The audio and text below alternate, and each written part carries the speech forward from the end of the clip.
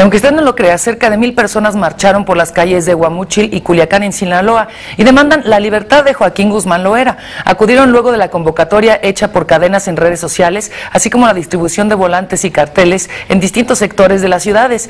En la capital sinaloense, la movilización llegó hasta Palacio Municipal, en donde se mantuvieron por unos minutos para después dirigirse a la catedral. Te invitamos a seguir cuestionando la información con los siguientes videos.